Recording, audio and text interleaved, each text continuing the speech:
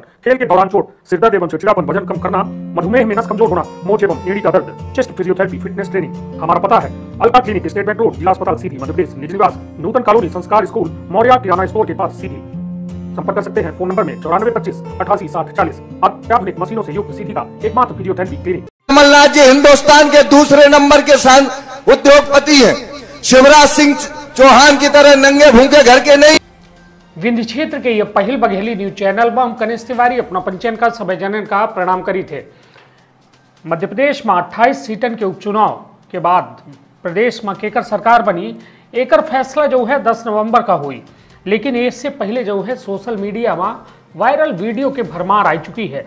हालात यह है कि सियासी गलियारन में जमकर जो है हड़कम मचा है और सत्ता खीतिर नेतन के जनता का। लुभावे खातिर इतना मशगूल हो चुके हैं कि भाषा का मर्यादा का, भाषा की मर्यादा जो है, ताक में रखी जा रही है। हालात यह है कि सोशल मीडिया में एक और वीडियो अब तेज़ी से वायरल हो रहा है, जो में कांग्रेस नेता दिनेश गुर्जर, मुख्यमंत्री शिवराज सिंह चौहान का लेके अपशब्द कहत जो है नज़र आ रहे हैं।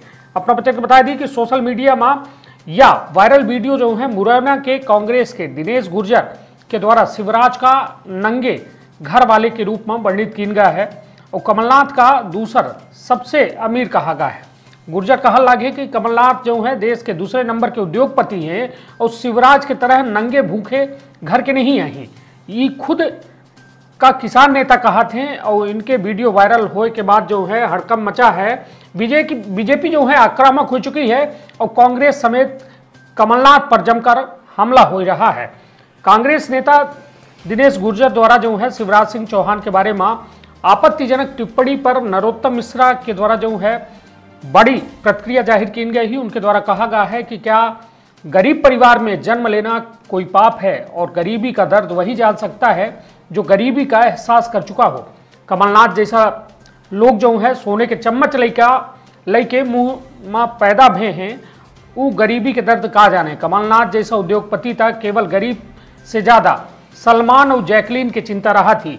वहीं के एमपी बीजेपी के द्वारा जो है ट्वीट करके लिखा गया है कि कांग्रेस की मानसिकता यह है और यह इनकर पीड़ा है और इनकर सोच है कि किसान पुत्र कैसा किस कौनो नामी उद्योगपति के सामने खड़ा हो सकता है। किसान पुत्र जो जनता के सामने झुकत है और जिनका जीवन जनता खातिर समर्पित है, गुलाम मानसिकता के कांग्रेसी के असला असली जो है चेहरा सामने आवा है। तो यह वीडियो वार शुरू है। वीडियो वार के बाद या सोशल मीडिया में वायरल वीडियो के बार शुरू है।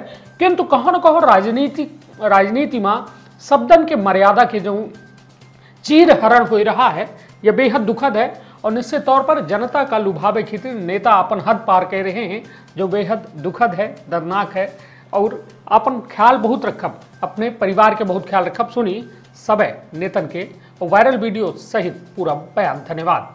प्रणाम। शिवराज सिंह चौहान की तरह नंगे भूखे घर के नहीं है। शिवराज सिंह चौहान पर पाँच एकड़ ज़मीन हुआ करती थी। आज हज़ारों एकड़ के ज़मीन के मालिक हो गए, क्योंकि किसानों का खून पीने का काम उन्होंने किया। हम हाँ शिवराज सिंह चौहान गाँव का बेटा है, किसान का बेटा है, गरीब घर का बेटा है, कबीलू के घर में पैदा हुआ है। तो भूखे नंगे के घर में जन्मा कहकर अपमानित करोगे? वो गरीबों की चिंता करता है, गरीबों को दो जून की रोटी मुहैया कराता है, गरीबों की स्वास्थ्य की, शिक्षा की चिंता करता है, उनके बेटे बेटियों की पढ़ाई की चिंता करता है, संबल योजना बनाता है, मुख्यमंत्री अन्नपूर्णा योजना बनाता है, वो उन बच्चों के लिए मुख्यमंत्री मेधावी विद्यार्थी प्रोत्साहन योजना बनाता है, वो साइकिल देता है, स्कूटी देता है गरीबों की बच्चों को तो भूखे नंगे के परिवार का होने का कहकर अपमानित करोगे? अरे सेठ कमलनाथ के चापलूस हो, आपको इतना पता होता कि पंद्रह महीनों में सेठ कमलनाथ ने उद्योगपतियों को मध्य प्रदेश बेचने का काम शुरू कर दिया था। दलाल की संस्कृति मध्य प्रदेश में बनाना शुरू कर दी थी। भ्रष्टाचार, ट्रांसफ़र, पोस्टिंग, तमाम प्रकार की अराजकता, अवैध धंधे शुरू कर दिए थे। हाँ वो गाँव का बेटा है, किसान का बेटा है, गरीब का बेटा है, लेकिन भूखे नंगे को परिवार कहकर अपमानित करने वालों 28 विधानसभा क्षेत्रों में आपको गरीब किसान गाँव का आदमी जवाब देगा, करारा जवाब देगा, आप यह कहकर अपमानित करने का काम कर रहे हो, सेठ कमलनाथ की चापलूसी में इस प्रकार का गुणगान उनका कर रहे हो, जवाब गरीब देगा, किसान देगा। आने वाले विधानसभा उपचुनाव में अपनी हार को देखते हुए जिस तरह से कांग्रेस के नेता बौखलाहट का प्रदर्शन कर रहे हैं, यह उसकी चरम सीमा बन चुकी है। आप कमलनाथ जी को, देश का दूसरे नंबर का उद्योगपति बता रहे हो। आपको यह भी जनता को बताना चाहिए कि कमलनाथ जी दूसरे नंबर के हो या ना हो। लेकिन सबसे बड़े दो नंबर ही उद्योगपति पूरे देश के हैं। उनकी काली कमाई का स्रोत क्या है? आज तक किसी को पता नहीं चल पाया और इस बात का सच आने वाले समय में हम लोग निश्चित रूप से जनता के सामने लाएँगे। आप शिवराज जी को नंगा भूखा नेता बता रहे हो, आपको ये मालूम होना चाहिए कि ये देश के किसान का आपने घोर अपमान किया है। एक किसान पुत्र जो सदैव इस बात के लिए जीवित रहता है कि वो जनता की सेवा करे, खुद सुदामा बनकर रहता है और जनता को श्री कृष्ण मानता है। उसका इस तरह का अपमान सहन जनता नहीं करने वाली है।